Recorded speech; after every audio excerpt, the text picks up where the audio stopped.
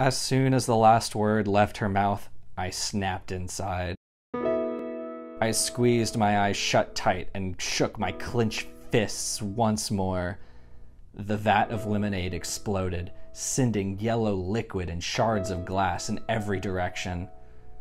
I opened my eyes to see what I had done. When the vat broke and the lemonade went everywhere, it had bowled her over and knocked her to the ground. She was drenched and sticky, sugary lemonade.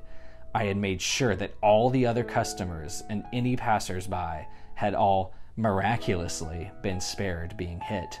After all, there was no need for anyone else to suffer because of her.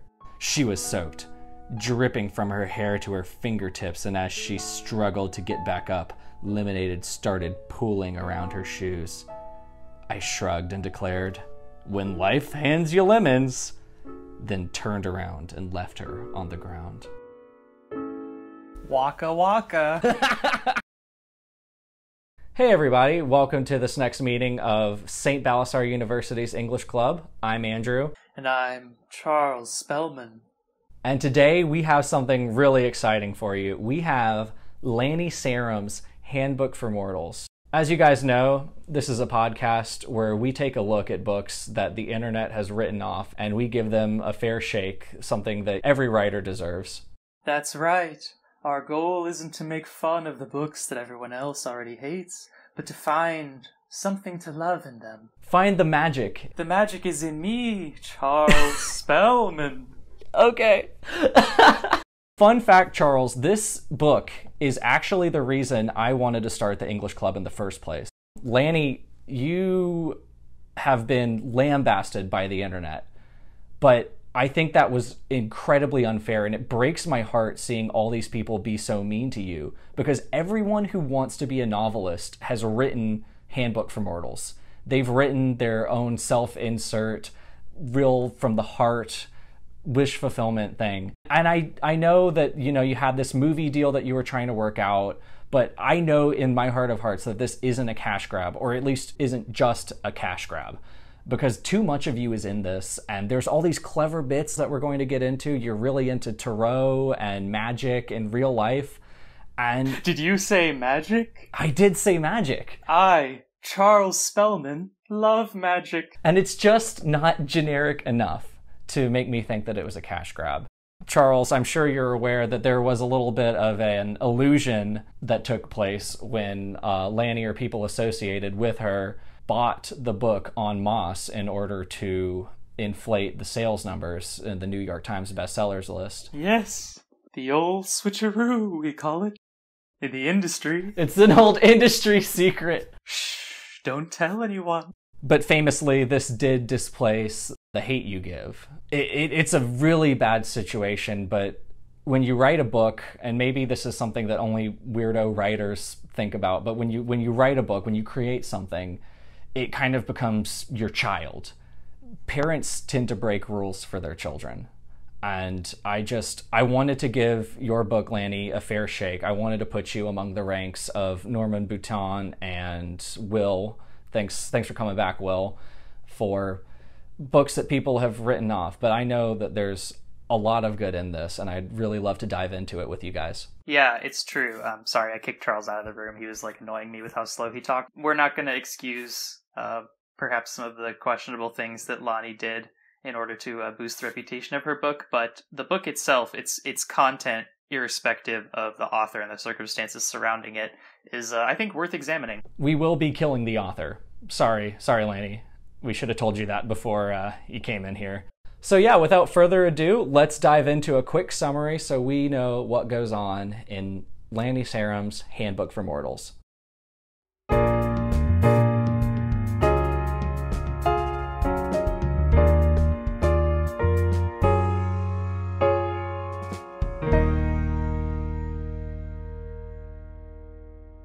It opens on Zade, who's the only daughter of a wizard mother living in a small conservative town uh, in Tennessee. It's called Centertown. Uh, she gets into a fight with her mom and she runs away from home to join a famous magic show in Las Vegas. So, when she's auditioning for this theater, the Charles Spellman Theater, she does this amazing trick where she jumps into a stage of fire and then the fire becomes water and she miraculously emerges and it's completely unexplained and she's a real magician within the company are a slew of men uh, mac the love interest being one of them all of them have three letter names and some of them are just inverses of each other there's mac cam and tad and then sophia a young woman who resents zade for her talent or just resents Zade to create conflict in the book. And it's noted that she is in a relationship with Charles Spellman, at least casually. Immediately, she meets the two love interests of the story Mac, mm-hmm. who works on the theater tech side of the show, and Jackson, who plays in the house band, and he's also a member of the Plain White T's, like the actual real Plain White T's. Um, he's not a real person, though. He's like a fictional member of the band that uh, Lani invented. He's like the forgotten brother of the Jonas Brothers. Uh, Gibby. yes, Gibby. So this essentially marks the beginning of the middle of the novel. Um, I say middle, but that's actually like 300 or 400 pages of it. The middle essentially consists of these like cycling scenes where Zade tries to date both Mac and Jackson at the same time, but without fully committing to the either, so that she doesn't feel like she's cheating and they don't feel like they're being cheated on. She also is like either practicing or performing at the magic show at regular intervals, and she does random activities around Vegas like a tourist. Like she rides motorcycles in the desert, she goes camping, she goes to the mall Mhm. and visits a few like real actual well-known clubs in Vegas. There's a few notable episodes in the middle that I think are worth pointing out. So before one date, Zade goes to the mall where she runs into the literal actual carrot top and has a brief conversation with him. They act like they know each other, but they've apparently never met before and they never meet again. It was like running into an old coworker at the grocery store, but you're constantly thinking of Carrot Top, so it becomes this horrific scene. Yeah, where she's just exchanging pleasantries with this now sort of forgotten celebrity. Minutes later, she's in the parking deck leaving the mall and she's attacked by another girl with magical powers, who, other than her mother, is the first uh, magic practitioner we've seen in the book up to that point. Um, the girl, like, kind of gets the better of Zade, but then Zade manages to fight her off, and then the girl gets into a Lamborghini and drives away, and is not seen again for the rest of the novel. The entirety of the novel. Then there's another scene where Zade gets into a fight with a, a teenage uh, worker at a lemonade stand because Zade is allegedly hitting on the girl's boyfriend who also works at the stand. Instead of handling it like an adult, Zade freaks out and behaves like a literal child and makes a, a frozen lemonade explode all over the girl and embarrasses her publicly. There's also a moment where a careless cyclist comes too close to Zade and Mac as they are on a date. In retaliation for this, Zade causes the biker to vault over the handlebars to and become injured because of this. And there's no repercussion or follow up. There's a lot of weird instances like this where Zade is just sort of randomly mean, but she's not the only one because Mac is manipulative on multiple occasions. He frequently accuses Zade of cheating on him despite her being pretty clear that they're not actually dating. And then he starts abruptly acting like everything is okay. Um, and it, this just continues. It's like a classic, classically toxic relationship. Mm-hmm. So it's revealed one time and never really comes up again that Mac's real name is Clark Kent, like Superman. It would honestly be better to call him that because his name is just another three letter word that is interchangeable with all the rest of the crew. But it shows up and they're pet names for each other. Zade calls Mac Superman, and Mac calls her uh, Magic Girl, which I thought was kind of cute. Meanwhile, her relationship with Jackson kind of falls by the wayside by the end of the novel and is just sort of forgotten about um, until it's just not really a thing anymore. hmm It's important to note that Mac and Zade initially hated each other because Mac, working on the technical side of things, needs to know how the illusions work for safety reasons. So the fact that Zade refuses to reveal the secret that she actually has magic, there's a little bit of a conflict there, and it becomes particularly childishly nasty. They they tend to snarl and growl at each other in the dialogue tags until Mac happens upon her in a state of undress in a dressing room, and that just completely fixes everything. And that's also never addressed. Yeah, it's really good stuff. For no particular reason, the end of the novel begins when Zade starts working on this particularly risky magic trick that draws on something called chaos magic, which has never been mentioned before and is never explained. She injures herself during the show where she's performing this chaos magic trick and has to be taken to her mom for healing. Uh, Charles and Mac accompany her on the journey home while she's in a coma. And while she's in a coma, it's revealed that Charles Spellman, who runs the magic act that she's performing in, and her mom were once a couple, and that Charles is Zade's father. Uh, this it doesn't really matter. It just kind of is a thing that happens. There's a flashback sequence explaining how Charles met Zade's mom, and it literally doesn't matter. As proof, I did not read it. I skipped that entire section just to see if I would miss anything, and fun fact, I did not. The important information is that they met each other and they fell in love and they had Zade, mm-hmm. and then they split up. So this reveal that Charles Spellman is Zade's father kind of changes a lot of things in retrospect in the earlier parts of the book, especially Zade and Sophia's rivalry. Sophia, on no uncertain terms, has referenced the fact that she has been having sex with Charles Spellman um, graphically for the book, and Zade kind of just lets this happen, despite the fact that she knows that Charles is her father. There's a scene fairly early on in the book when Charles summons Zade into her office to talk about something, and then it just kind of fades to black. Mm-hmm. And then later, Zade and Charles talk, you know, alluding to this fact that they both know, but that the reader doesn't know. Um, and then it turns out at the end that that fact is that uh, Charles is Zade's dad, and I just don't understand the reason for hiding this from the reader but giving that information to the character. It's like totally robs you of an opportunity to have some dramatic irony, mm-hmm. and it also just makes things really confusing. For a first-person narrative, it's almost impossible to do something like this, and we see the effects of this firsthand with with this reveal. Yeah, it makes the the reader feel like they're being left out, which I don't think is something you want to do mm-hmm. in a YA novel like this that's going for a generally sort of snacky, fun tone. Right. As part of the ritual to heal Zade, Mac has to drive a magic dagger into her heart for reasons. Um, he fears it will kill her, and this is really built up like he's scared, doesn't trust in the magic dagger.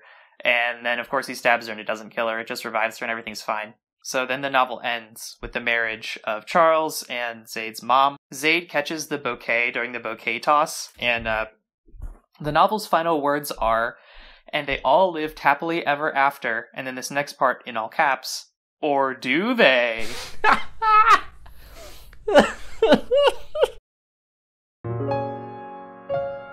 the funny thing about love is that love doesn't care if you've labeled it or not. And it also doesn't care if there might be someone else vying for the person you love. Jealousy might, but not love. You can love someone who doesn't even know you really exist. Love really knows no boundaries, and sometimes it doesn't seem to make a lot of sense. You can wish it away all you want, but just like Cupid's arrow, once you've been hit, you've been hit. So, my dear boy, Andrew, tell me something that you liked about Lani Sarem's Handbook for Mortals. I think the best thing for me when reading this book was the setting. The Las Vegas magic world was really neat to me, and the fact that it clearly came from the author's experience added a lot to the authenticity of it. It was it was the best kind of self-insert you can do because there's all these little idiosyncratic moments like who thinks that show blacks are sexy? That's such a weird thing that I would never think about. But if you're involved in the theater world, if you're involved in the performance world a lot, that's that's what you're exposed to. Yeah, I actually completely agree, and I had also made a note of almost that exact same point. You can really tell that Lani made an effort to get specific and use like grounding details in the plot to add some authenticity and to put the reader in the moment. The show blacks one is better than the example that I pulled. Um, but like she also talks about like the mechanics of how rehearsals work and how many times a week they perform and she names some real life places that she's like very obviously been to and i think that adds like an authenticity you can't get any other way. Right. And even in other ways that transcend the setting lani the person does enjoy magic. She does enjoy tarot card reading and motorcycles. All of these things show up in the book and there are parts where it really shines, especially the tarot card reading. the way the way she talks about it and the way that um, it's presented was actually kind of interesting to me. That's one of my favorite parts was just watching Zade come up with the the fortunes through the tarot cards. Yeah, that was interesting. That scene where she tries to read her own fortune. And so uh, it, it, was also a little bit enlightening because I, I don't know too much about tarot cards myself, but all of the chapters in this book are named after tarot cards. And the reason this is, is because each one is associated with their own numbers. Sure, it's something small, but having that little touch of personality really created a work that could only be Lani Sarem's. And I think in that regard, she succeeds. I'm totally with you on the tarot card chapters thing. That's the kind of thing that elevates a really good novel to a really great novel, mm-hmm. or in a less great novel, stands out as a very cool idea. Something else I thought was fun was that Tad and Mac have a pretty good, realistic male friendship. They they had all these little banter moments. that you could really tell that like these two guys had worked together for a while and they're they they they butted heads but they respected each other and it was it was just something really nice to see especially since a lot of the characters got pit against each other for various reasons in this book um but doesn't tad catch mac peeping on zade and then not really do anything about it uh, yeah yeah, and it, it's hard because it's like, Lani, are you going for this old fashioned, like, oh, this is so scandalous, this peeping Tom? Or are we really supposed to be kind of skeeved out? I, I wonder what your in- intention was there. Yeah, because there's there's a good opportunity there for the book to come down on one side or the other and say, you know that's a very uncool um, not just of mac but of tad for not intervening. Like that's exactly the kind of place where a really good friend should intervene in his friend's actions and say like what you're doing is not very cool at all but he doesn't.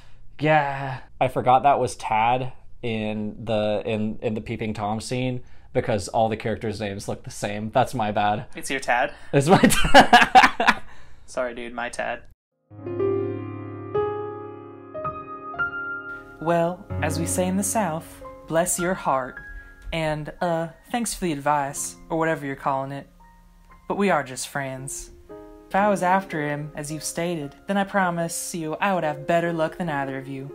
After the words came out of my mouth, I was actually surprised that I had been so bold to both of them. I was proud of myself, though. I stood and stared back at them, waiting for their response. Zade 1, Stupid Girls 0. So let's flash forward a little bit. Um, Zade and Mac's first little romantic encounter where they're riding their bikes through the desert and they get caught in a freak storm and there's this really tender moment where they kind of cuddle up next to each other. That made my heart flutter. No, it didn't. No, it didn't. You're lying right now. No, I, I swear. I swear I was reading that. I was like, aw, that's kind of cute. Straight people romance. it made me support Tad as you know the the love interest over Jackson like instantly just because it was they had. You mean Mac?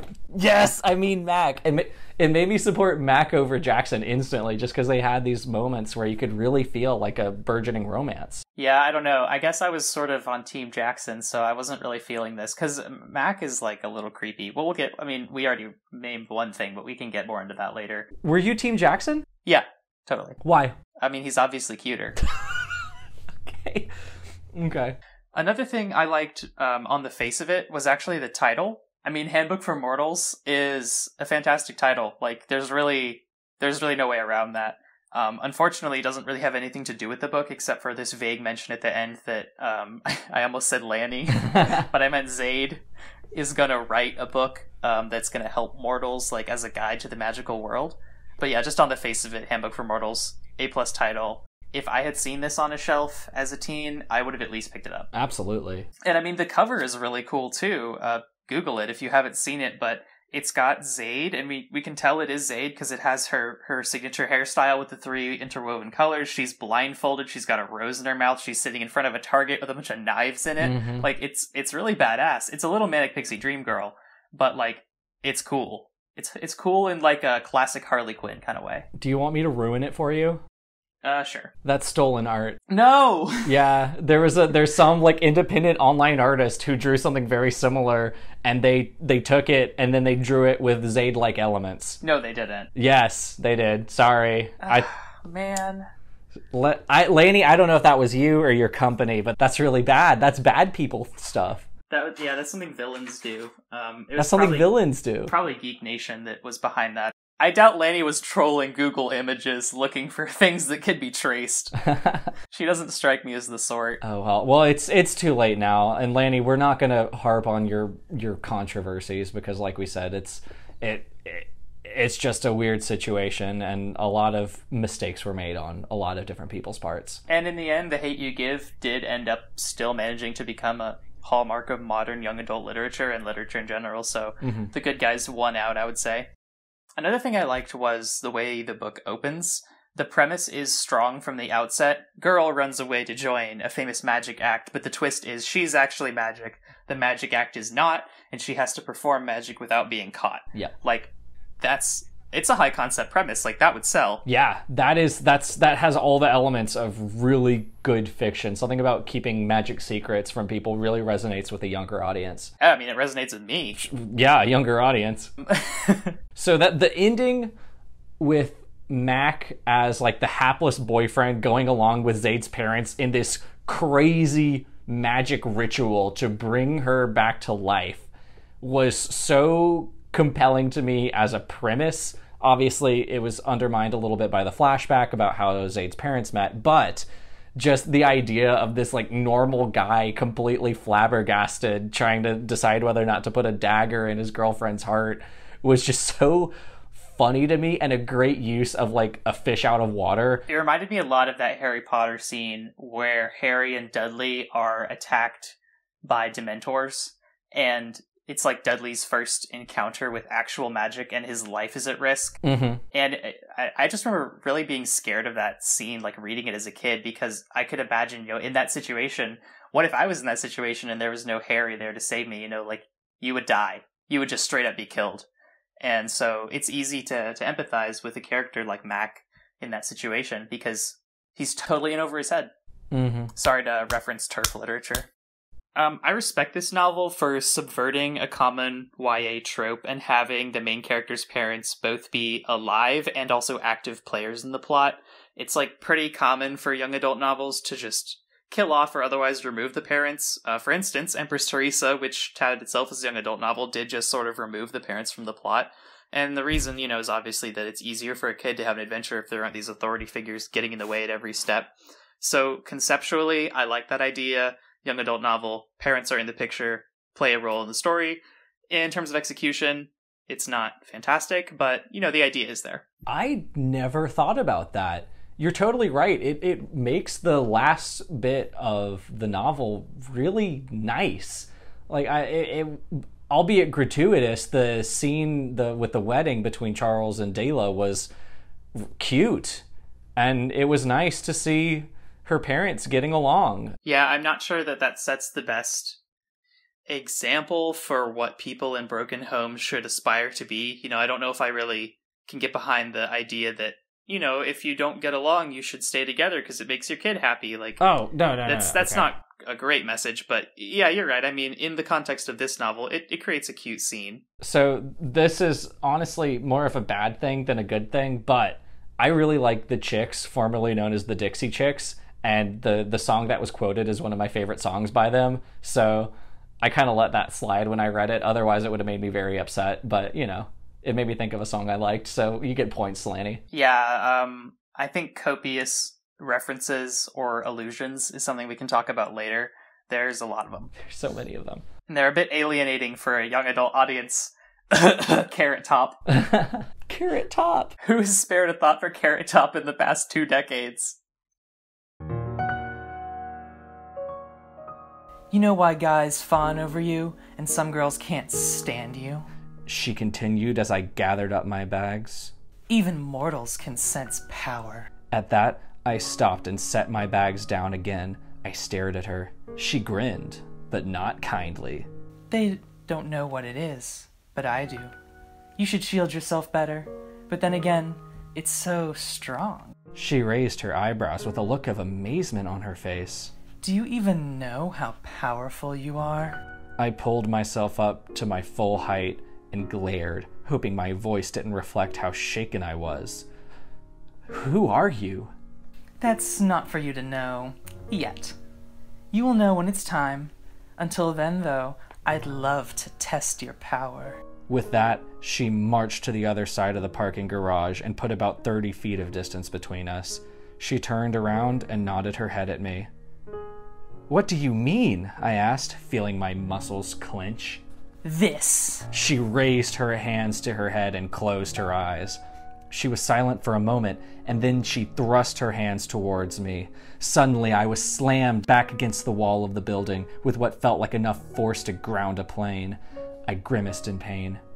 I could feel bruises already rippling on the back of my head, spine, and arms. Come on, girl. Show me what you can do.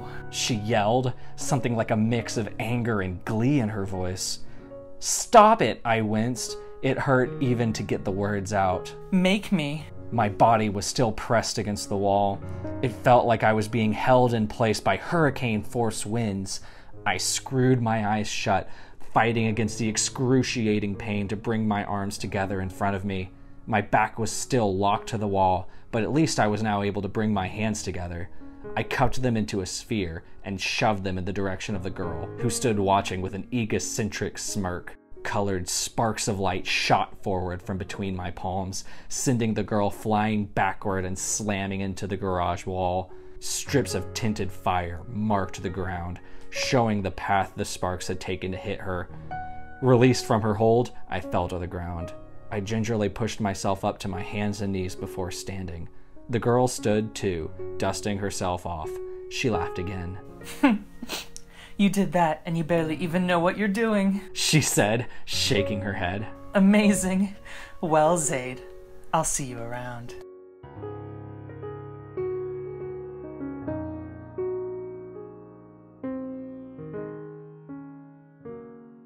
So, Joshua, we talked a little bit about what's going well. Do you want to talk about maybe some of its weaknesses?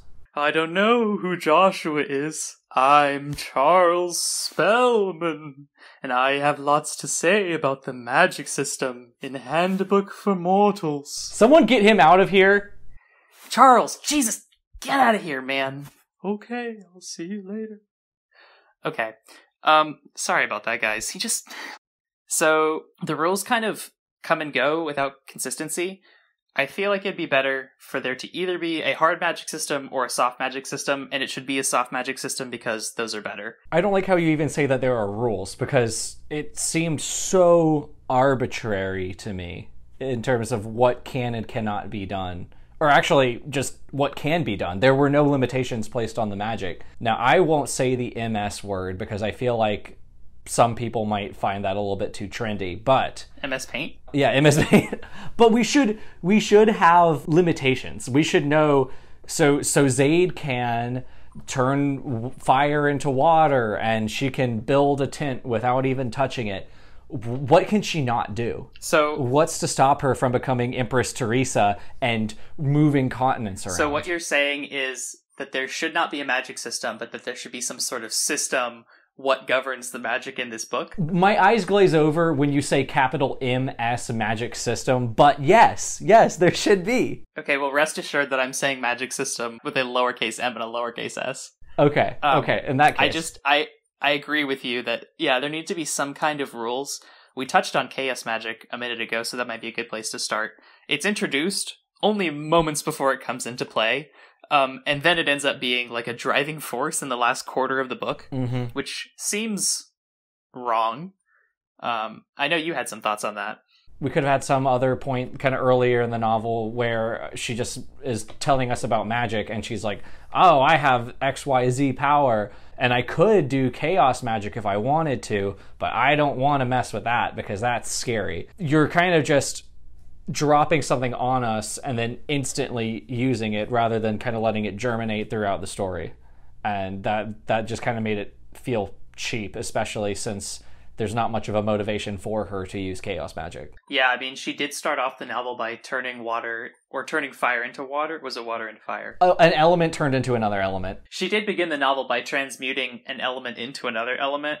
So, like, it raises the question of why she can easily do that, but she can't do whatever chaos magic is. Well, because it's dangerous. Yeah, but, like, why? There's no answer. You, so, you asked a minute ago what can't magic do? Yeah. And there is one thing that Zade doesn't seem to be able to do with it, at least, and that's tell the future. Because when she does the tarot reading for herself, she gets these very vague and inconclusive sort of results. So, like, we know she can't just see the future, but we don't really know why. That's fair, but also there's a lot. I, I I'm more being physical here. Like, what what can she physically not do? Because seeing the future is one thing, but if you can summon elements and make lemonade vats explode, where where does it end? Yeah, I think you're right, and I think an easy fix, well, you know, relatively easy fix, would be to introduce some sort of lowercase s system Mhm. where magic at least expends energy like proportionate to the effect that it achieves. Sure. So making a lemonade thing explode, probably not a lot of effort. Maybe Zade feels a little hungry afterwards. But in order to fight off a magical teenager in the parking garage of a mall and shooting a big rainbow fire beam at her that like scorches the pavement, that seems like the kind of thing that I don't know, maybe you would pass out after doing. Right, yeah. And that's really all that it would require. I got kind of excited during the tent building scene because I was like, okay, here is a contained scene of magic being used. She could be like, oh, I drew on this energy, which has this repercussion and this consequence, which would be enough for me.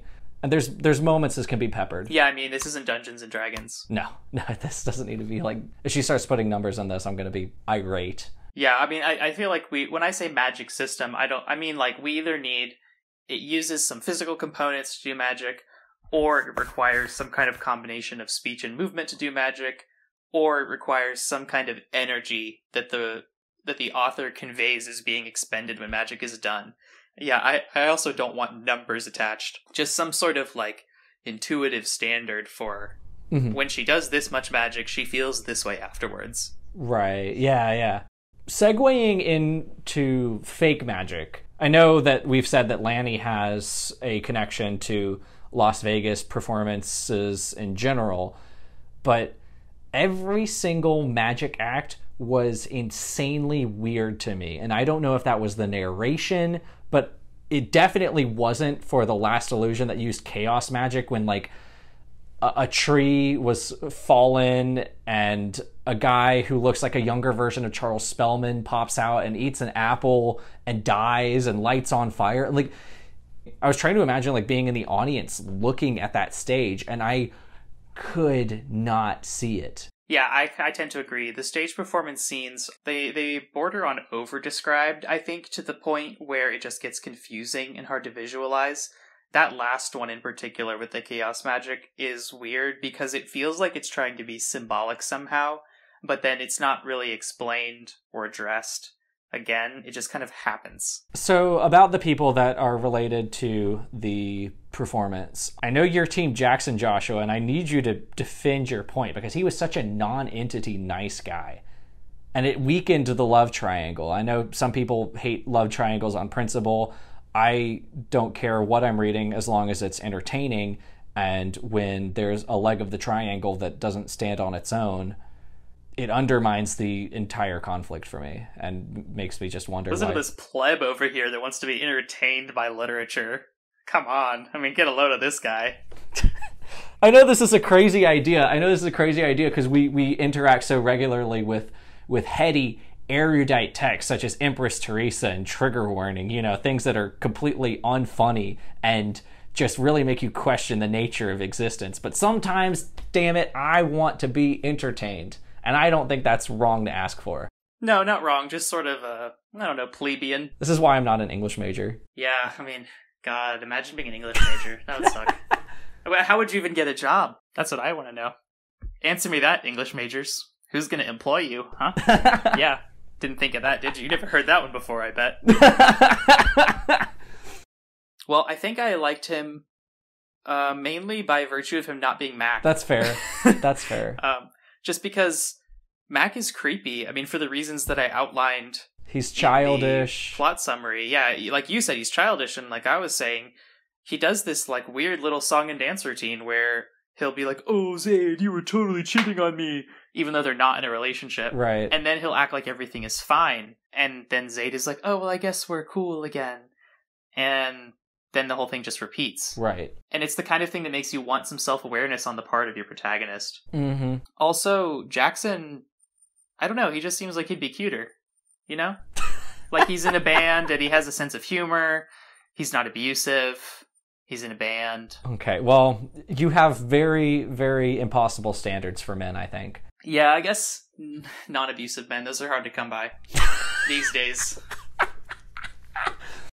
The thing about Charles being her dad is that it, it kind of adds nothing. I would actually argue that it, it detracts from the plot by removing a potential source of conflict. Mm-hmm. like if he's constantly like suspecting that something about her is weird and trying to figure out what it is this doesn't have to be the main conflict of the story but Sure. it would make even her workplace where she goes to to flee to safety from i don't know whatever other complexities are going on in her life a, a source of of conflict for her and i mean in general i think more conflict is a good thing I, I cannot I cannot state how creepy it makes it that we are in Zade's head.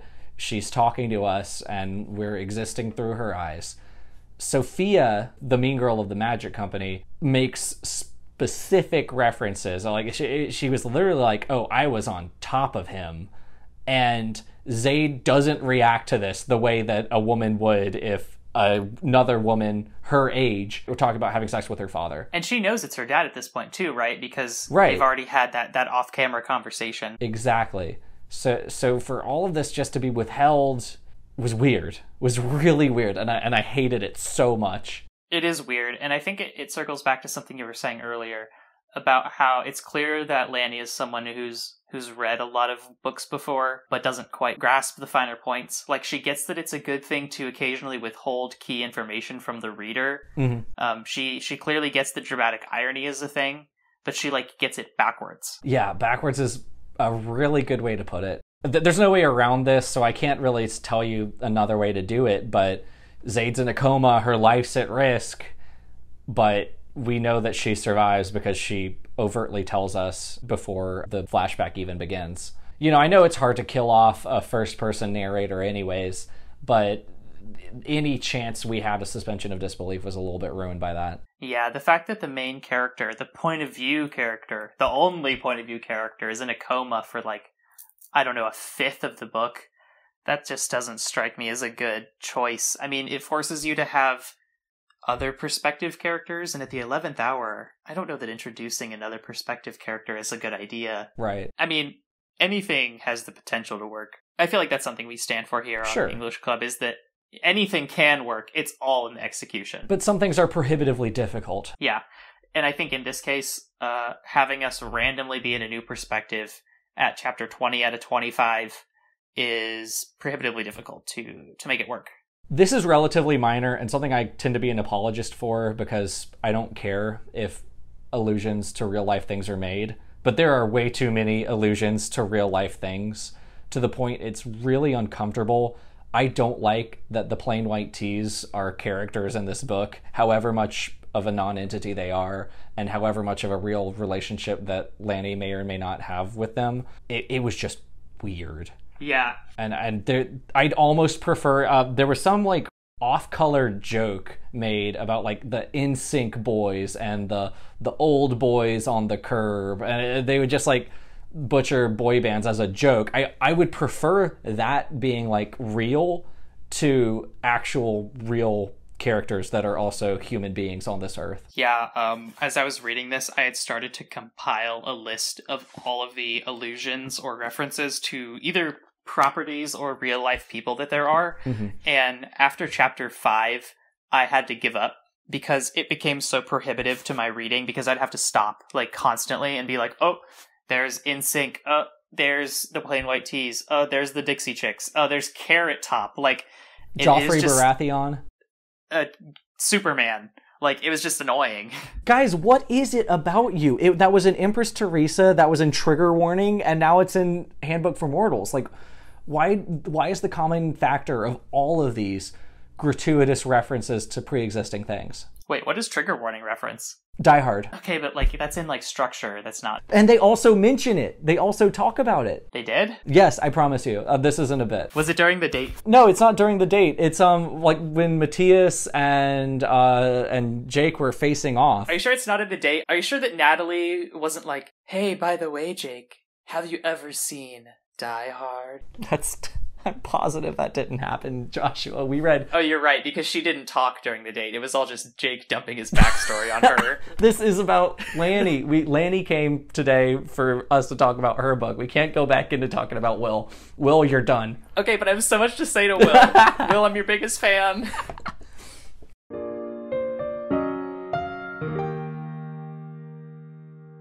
It's heart of the matter time. We've been glancing around this for a while now. Lani, I think what makes you unique, uh, even in relation to Will and Norman, or maybe not Norman, is that this is clearly the first thing that you have ever written. Yeah, I think Norman and Lani have something in common. The, well, okay, but Norman Norman makes up for it with his batshit crazy voice, and I mean that as a compliment, Norman. Like even if it, it it, it comes off as outsider art. Yeah, it's it's uh it's it's auteur. It's auteur. Lani, I, I mentioned you are the reason that I started English Club because I saw myself in you reading your book. There's this uncanny feeling that you understand what a book should be, but when it comes down to the brass tacks of the mechanics, you're a little bit rusty the there's these vestigial scenes like we mentioned they met carrot top and it was just a hi how are you? How are you? I'm good thanks. Good to see you. And there there are these scenes that exist and they don't serve a narrative function. There are these overblown physical descriptions where she uses a mirror and she looks at herself and she describes, I don't think I'm pretty, even though other people think I'm pretty. I have crazy colored hair and I don't have a thigh gap. Yeah, I mean, for God's sakes, the first five pages are a description of herself, and I think a full page is dedicated to the fact that her hair has three colors in it. Right, right. But that's something that a person who wants to be a writer but hasn't necessarily gone through the ringer and really sat down and analyzed the structure of a story would be given to do. And talk about um, outsider art, auteur kind of thing. There are these little things, while they're unique, only someone who is not a writer or doesn't, you know, think too much about literary things would would think that it's a well, to be honest, would think that it's a good idea. Like the fact that every perspective that isn't Zade's is completely in italics. Or the and they lived happily ever after dot dot dot. Or do they? These are things that are only something that someone who is not used to writing would incorporate in a book. Okay, I think I, I think I'm picking up what you're putting down. I just I just wish that you had gone through an editor or maybe some more beta readers or or something before publishing this because within this story is the the vague idea of a really compelling narrative possibly. Yeah i agree. It's just undermined by these these missed beats you know? Yeah there's conceptually a lot uh working here and i think that's something we've even said sort of implicitly throughout our our sort of discussion here so far you know conceptually at least i've been hearing myself say that this is a cool idea. Conceptually it's cool that her parents are alive. Conceptually it's cool idea that she's a real magic user in this world full of fake magic users and she has to hide herself. Mm-hmm. Uh, conceptually, it's cool that Mac has to stab her in order to save her. But in execution, it just doesn't quite hang together. And that's not your fault, Lani. At least it's not the the amount of your fault that people on the internet are telling you it is. You're just not mature as a writer yet. And I, I just really hope that you're not discouraged. I hope one day to see a new book from you because because this this could be cool. Another thing that I think could use some improvement is the lack of a clear antagonist. Maybe you would disagree with this, Andrew. I mean, having no antagonist isn't in and of itself a bad thing. There's lots of YA novels that don't have a clear antagonist and have become staples of the, the YA bookshelf. Mm-hmm. Um, I've mentioned The Catcher in the Rye before. This is the third time. I love that book. I'm going to continue mentioning The Catcher in the Rye in every meeting of St. Balasar University English Club just because now it's a thing the conflict if there's not going to be a single antagonist, it could be external, but come from like a societal issue It's not a single person. hmm Like uh, The Hate U Give, say, had one of those. Um, the magic girl that we get in the parking garage is the closest thing we have to an antagonist. hmm Um, but she shows up all of like twice, Right. and it's never. She doesn't even have a name. Uh, she Mhm. feels like she exists, like she's checking the box of have conflict rather than like participating in the plot of the story. Uh, forgive me for saying this, but it felt kind of like an anime. It did kind of feel like an anime. I, I can forgive you for that because it, it's kind of true. Like the way she pops up and she's just like, "Well, well, well, Zade, here we are," and Zade's like, "Who are you?" and then they have a big energy beam fight. Right. I do agree with you that it lacked a conflict. I am hesitant to say lacks a villain for the reasons that you just said. There are a couple missed opportunities for conflict that didn't get fleshed out where they could have been. Some of it was just uh, I'm just going to be honest, Lani. It was just a failure of your writing. the The romantic conflict didn't sell the entire rest of the novel just because of various weaknesses in the characters or their relationships. I mean, the reason that the love triangle doesn't sell it is because, like you said, there's no love triangle. The Jackson leg of the triangle doesn't really exist um, past the point where Jackson is initially introduced, Right. and it's it's really clearly like foreshadowed that he's going to be the rival to Mac. But then the rest of the book just doesn't do that. Right, exactly. I'll get into this later, but the theater company kind of just existed and there were no rival theater companies or misfortunes that befell the Spellman company other than, you know, the, the occasional accident. Okay, wait. Rival theater company. I hadn't even thought of that as a as a potential driving conflict, but that actually strikes me as really cool. Right, yeah. And she they have this secret weapon of Zade who's like a real magician. Yeah, and then they if they wanted to be kind of corny about it, they could do a double twist where Zade's uh, sort of counterpart in the evil magic company is also magic user or something like that. Ooh. And it's the woman from the parking lot. Uh, that might be too obvious. Too obvious for a Handbook for Mortals. Well, okay, what about this? What if it's a stage magic user so talented that it appears to be real magic? Oh. Ooh, like a Superman Lex Luthor thing. Um, I'm not a nerd. Lex Luthor resents Superman because Lex Luthor is a self-made man, whereas Superman was born with powers or whatever. Wait, really? Is that what Lex Luthor's all about? I heard it on a YouTube video once. I don't I don't read comic books, but I've heard that one time. Okay, that's true. I actually love that. Yeah. So there could be like a, a really talented fake like Criss Angel. If you're gonna put Carrot Top in here, you can have Criss Angel just hates Lani, uh, not Lani Sarem, Z- Zade Holder because she she Scheherazade, please. Scheherazade. Sorry, I should be formal here. She, she- he hates Scheherazade because she because she was born with her powers and she didn't have to work for it. Yeah, okay, wait, no, this is actually getting better and better the more we talk about it. yeah, I like this idea that, like, there's a stage magic user who's so talented that even other stage magic users can't figure out her tricks. yeah. And this person somehow figures out that Zade is using real magic and holds that over her head, sort of maybe blackmailing her. Finds her handbook for mortals. She finds the handbook for mortals. And maybe they become friends. Like, what if Zade did a, a tarot reading for this person? That might be interesting. oh yeah, yeah, yeah. Yeah, what if this person was like, "Hey Zade, I totally hate you, but you have real magic, so like, tell me about the future. Who wins in the big contest between our two magic companies?" But that's the thing is that her tarot card reading abilities are limited by the the heart of the cards. So she's not going to be able to accurately predict the future. And maybe that could be another source of conflict. That's right. She turns over five cards, and what is that? It's the five pieces of Exodia. I said no anime. I bit my lip. Do you, um, do you ever get weird feelings? You know, like a premonition? He nodded his head slightly before answering me. Sure, everyone does. Usually they're unfounded. People listen too much to their feelings instead of facts.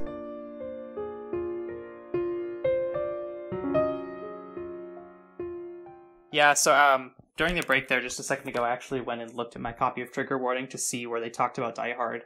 You're right, they did. Um it was actually during the second scene where Jake is getting the crap beat out of him by a bunch of like masked thugs. And one of them is weird, so like the gang and I'm surprised it didn't actually come up during our, our review, but like the gang like stops because one of them is like, "Hey guys, hold on a second. and the guy's like, "So by the way, have you seen Die Hard?" And Jake is like, "No, I haven't. Why do you ask?" And the guy's like, "Oh, I just think you'd really like it. It's like seems like it'd be up your alley." And Jake's like, oh, "Okay, cool." And then he like puts it down in his Letterboxd app, and then they proceed to like kick in a bunch. so, back to Lani. There are a couple missed opportunities here, and we wanted to kind of give you some suggestions for where to take this that would be in line with your vision, but also would help make this a stronger narrative. Joshua, you're going to instantly shoot me down for this, but I absolutely believe that this book wasn't generic enough. All right, keep talking. I, I mean, I have one loaded in the barrel, but keep talking. What I mean by that, Lanny, is uh, you need to take a page out of Trigger Warning. You need. Wait, that's how guns work, right? You load it right into the barrel, like from the Depends front? on the kind of gun. Okay. Oh, ask Jake. Okay, yeah, ask Jake. Um, you need story beats. You need a pyramid of action. Honestly, just slap some Save the Cat beats onto this. There's so much opportunity when you have this premise of someone running away to a magical new world for a fish out of water premise. Like fun and games, let's see her doing the real magic. And through these fun and games, we'll be learning about the the limitations and capabilities of your powers. We never see Zade adjust to this big new life. And Lani, we get your insight into this, but Zade's never adjusting to it. That gives us room to shoehorn in character interaction. We could justify Sophia hating her. Maybe Zade's just incompetent at something and it messes up something that Sophia's trying to do. Mac and Jackson's love triangle could be galvanized by some scenes of them teaching her something about the show business. And what I, I think makes this a good starting point for edits is that there are so many scenes that are just vestigial and just don't go anywhere that could be replaced by scenes that maybe serve this secondary purpose. I actually, instead of shooting you down, let me uh, pop that bullet out of there. um, I, I, I think that you're right. We need like a section where she's learning how to do stage magic. And what you said about Sophia actually just struck a chord with me. I hadn't thought about this, but it actually sort of ties into it. A thought that I had. Um, that presumably there's going to be some circumstances in Zade's life where where real magic isn't going to cut it. Mhm. Like there's no conceivable way she could get away with doing real magic, and so she would have to actually learn some stagecraft. Hmm.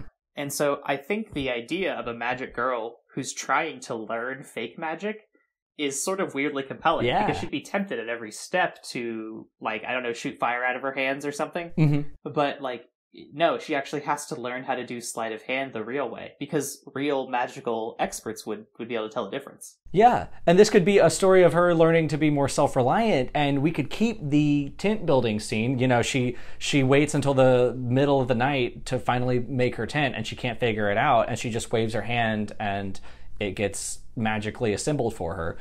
That could be emblematic of a change that she has along and along as she's learning. Okay, I can't just poof everything I want into existence. Sometimes I should work for the things I want. That would be compelling. Yeah, maybe maybe magic is a crutch for her. Oh yeah, yeah, yeah. She she I mean she obviously has character flaws, but she could she could use some you know specific and compelling character flaws that could play into the narrative. That would be that'd be really cool. Yeah, so I think this this ties in well to something we were talking about earlier. If magic is a crutch for her, then the natural next step we need is a character to sort of be there to remind her not to use it all the time. Mm-hmm. And I think our extremely skilled fake magic user who uh, knows that she's using real magic and is blackmailing her Right. is a good candidate for that. This rival magic company magician Sure. who's like, I'm I'm watching you. Like if you use real magic, I'm gonna know and I'm gonna tell somebody. Mhm. That would force Zade to like either become much more tricky about when she's using real magic or Mhm. to actually just learn how to use stage magic. I mean, if you want to be really lazy, Lani, what you can do is don't have a rival company. Just have Sophia find something like be like I'm on to you, and have that be your source of conflict. It doesn't necessarily have to be completely external to Zade's entire world. Okay, yeah, that's actually much more expedient. See, there you go. Yeah, Sophia would be would be a good pick for that. And and and there we could have some additional conflict because Zade's like, "Hey, you're fucking my dad," and that makes me uncomfortable. That was And Sophia's like, "What are you gonna do about it?" It would be so nice to have that acknowledged. So, around the time that Carrot Top showed up, I got to thinking all this stuff is really, really lame to me. Like, I don't care about stage magic. Like, there's Penn and Teller, there's Criss Angel, but like, this isn't Broadway or Los Angeles or, you know, everyone wants to be an actor or a movie star, a, a, a, guy in a band. Like Jackson? Uh, like Jackson. Everyone wants to be Jackson. Who wants to be Mac? There's nothing inherently even even Zade. Who wants to be Zade? There's not a lot very compelling about this to, to me as I, i'm speaking completely from my own perspective like in in the real world i don't think i would ever spend money on seeing a magic show so that got me to thinking if you don't want a villain and you want another source of conflict what if Charles Spellman is the captain of a sinking ship? Like he's on like a D tier magic company and it it's just failing financially. Nobody's coming to this. You can reframe this relatively easily in my opinion as an underdog sports story. You know, this this failing company takes a chance on this hick woman from the middle of nowhere and it turns out that she's actually very talented and she becomes like the, their secret weapon. But it's not enough to keep them afloat. And no matter how amazing zade's tricks are it's still just a stupid magic show. Okay, um, Lani, I'm gonna tell it to you straight. I would not read the book that Andrew has just proposed, but I think there's somebody that would. there's a problem in the third act when zade uses chaos magic for no reason and has never expressed a desire to tamper with these things before. She just does it. So I was trying to think about ways to, I could justify her doing that, and maybe maybe the Spellman Company is on its last legs, and they need something really amazing, and the only way that she can do it is by tampering with these forces that she doesn't quite understand. But she loves these people, and she wants this company to succeed so bad that she adds this extra element of chaos magic into her trick, and everything else can stay the same from there. But No, wait, better idea. what's that? She tampers with chaos magic, which she doesn't understand and can't control. And instead of her being injured, Mac or Jackson is injured. Okay, that works too. Because that way, that way we have our main character, our point of view character, being the point of view character Mhm. to the end of the book. Uh, that way, we have a character that feels responsible for actions, a character that has agency, a character that has to make actual decisions about what to do next and how to follow up on the things that she screwed up. Yeah.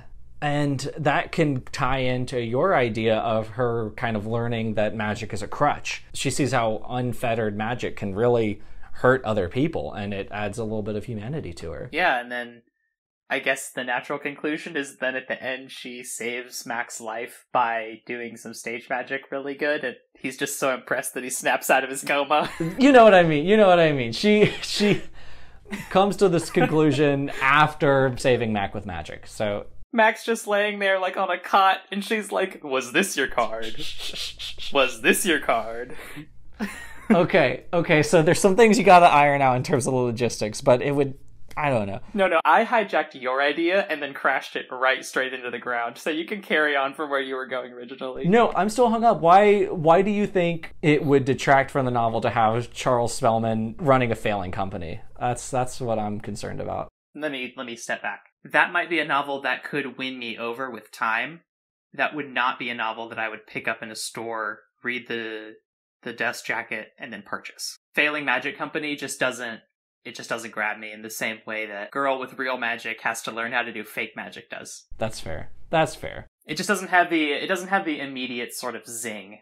But it, it has more I would say it has a it has more literary potential. That's true. I've kind of ruined myself by studying business here at St. Balasar University because that's the kind of stories that I want to know. I want to know about failing companies. I don't care about magic. You want to hear about uh, Charles Spellman's accounting practices and why they are flawed. I want to know whether he uses accrual accounting or cash based. I also want to know that thing that I understand what you just said. so, Lani, which is it? Does he use the cruel accounting? the cruel accounting. All accounting is cruel, let me tell you. Maybe maybe that's hey Charles. Maybe your business was failing because you were using cruel accounting. Did you ever think about using a different method? Oh my god. My anger erupted. If she hadn't been my mother, I probably would have punched her. I couldn't believe she was pulling such nonsense again. It was an age old excuse. I want to protect you from making the mistakes I made. I started to grind my teeth. If I had been a cartoon, smoke would have been coming out of my ears. I began to wave my hands in exasperation, a habit I had gotten from her. Stop! I shouted in anger. I don't want to hear it. I'm not you. I inhaled deeply and tried to relax. I have my own life, and I think you were really selfish for what you did. She winced, wounded. The truth hurts, or so she'd always told me. I walked around the car and opened the driver's side door. I gotta go. I'm too upset to continue this conversation. I couldn't deal with it anymore. If I let my wall down, I would just stay. Forever. I couldn't do that. We both stood staring at each other. Part of me wanted to push my mom out of the way and jump in the car, but I couldn't be that mean to her. It felt like we stood there for hours. Finally, she just said, Please. It was all she could say. Her voice cracked, and pain showed on her face. You know what else would be cool? Since Lani seems to want Zade's mom to still be alive, and since she's introduced at the beginning of the novel as a source of conflict, I think it would be natural for her mom to be a continual source of conflict throughout the novel. Yeah. That's sort of the natural next step, I think. If you're gonna have a parent alive in a YA novel, there's there should be a good reason for it. I mean, there's a good reason that parents aren't alive in YA novels, so if you're gonna subvert that trope, there should be a, a use of it, I think, a use of that subversion. mm-hmm. And maybe maybe she's not a threat throughout the entire story, but I think there's maybe space in here for maybe a few couple chapters where her mom shows up in Vegas and is like, "Hey, I'm here to bring you home." Oh yeah. And maybe it's at a time when Zade is feeling vulnerable and and she's tempted to do that. What do you think? That's actually really cool. Um, because it's made to seem like the relationship between Zayda and her mother is a lot more complicated and nuanced than it ends up being in the later half of the book. Like you said, YA protagonists' parents are dead for a reason, so I'm worried about the idea of shoehorning her. But if we could tie that in organically to some part of the larger conflict, I think that would be really cool as an opportunity. Yeah, I don't know. I, I just feel like if you're gonna subvert that that sort of expected norm, then you should do it for some reason. And right now, the only reason that her mom stays alive is so that she can be there at the end to marry Charles and to help save Zade's life. Right. Which uh, I don't know. It's subjective, but to me, those just aren't good enough reasons to keep her alive. You could have somebody else for those roles. It's it's entirely dependent on the execution here. I could see it being very disastrous, but it's it's worth a shot. Uh, yeah, it could totally be a distraction. Her mom showing up and trying to bring her home. Uh, but I don't know. Something to something about that just calls to me. Like Zade's at a low point. Uh, she's maybe realized she can't save the failing magic company, Right. and her mom is like, "Hey," uh, she Zaid texts her mom is like, "Mom, I'm scared. Could you come pick me up from Las Vegas?" Yeah. And her mom is like, "Sure, honey. Yeah. Here, let me just warp there." There needs to be there needs to be um so rule of threes in any conflict. You have the triumph, tragedy, transcendence. Uh, Zade triumphs and leaves behind the the bad world and goes to the good world, and then at the end, transcendence in the form of her parents are getting married and everything's happily ever after. But there's there needs to be. I think I think we can stand to add one scene, one good scene with her, or one good segment with the mother. Um, coming back and trying to trying to mess with the status quo. I think it's worth a shot, Lani. And Lan- Lani does kind of make an effort to include that in her own little way. Yeah. Because there is that one section of the chapter that's entirely in italics, where it's just Zade's mom doing a tarot reading of her own, right. um, trying to get trying to get a bead on her daughter's status. So like, it's another instance where like you get the sense that Lani like kind of gets how these sorts of plots are supposed to work, but then just misses the execution by a hair. that's that's kind of the perennial problem. Misses it by a hair. I think that's what makes it so so fascinating Sure. for for readers who are also aspiring writers. Mm -hmm. Th- I think, like like you said, they see a lot of themselves in this. This is everybody's first novel, essentially. Lani just had the misfortune of having hers published. Uh, I feel bad for you, Lani. Yeah, yeah. In a weird way, it's like it's so raw. it's just And I don't gritty and that- compelling. I mean, it's not. It's not either of those things. It's just like you, you can tell she really, she really cared. And I mean, there's no greater testament to that than the acknowledgement section at the end of the book. It goes on for like 20 pages, and it's just full of names. It's full of names. Hold on. Let me count them. Okay, it goes on for 11 pages. On every page, there's like three paragraphs, and every single one of those paragraphs contains one to seven names of people that inspired her. And so, like, you, you can just tell, like, a lot of love went into this book.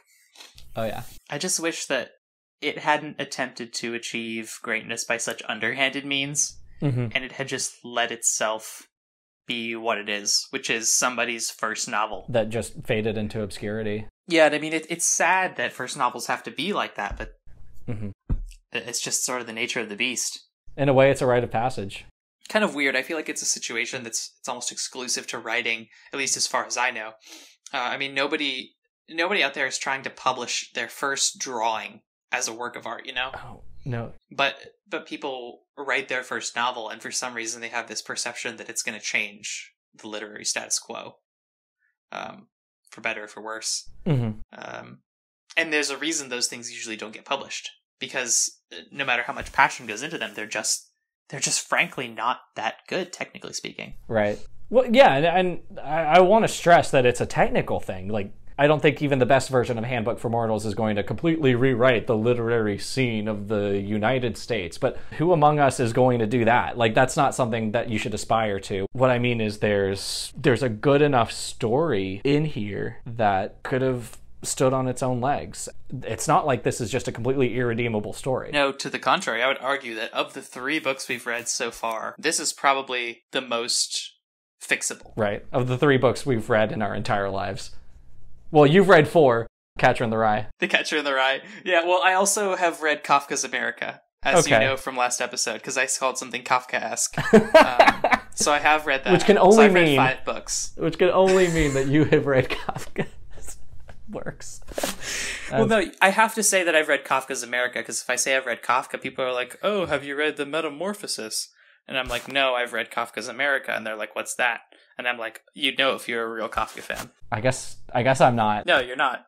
So, so step off.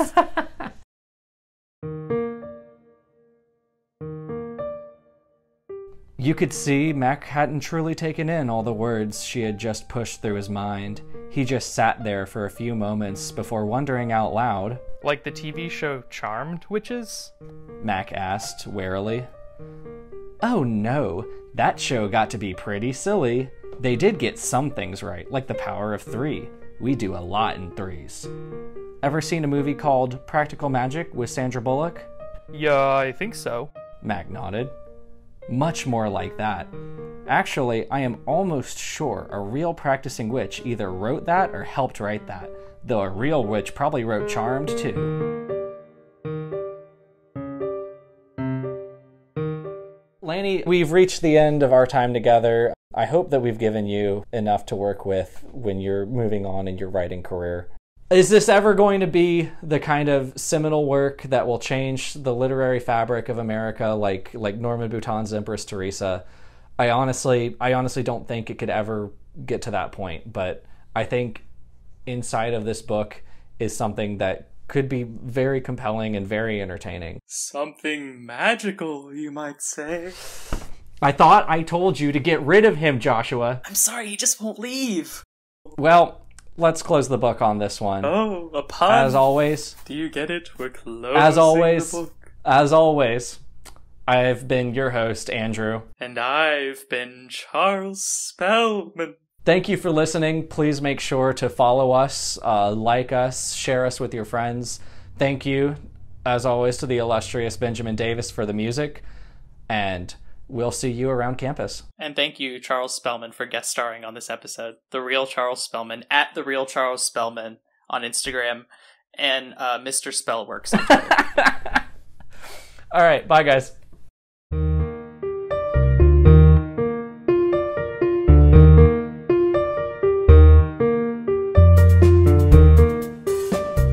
Think there's a book or something out there? Mac asked. Book? I turned to clarify whether I had heard the right word. I wasn't sure what he needed a book for, because I had already caught the bouquet. Yeah, you know, like a handbook for mortals. Just so I could keep up. He grinned and winked at me. I smiled back. I'll try to find you one.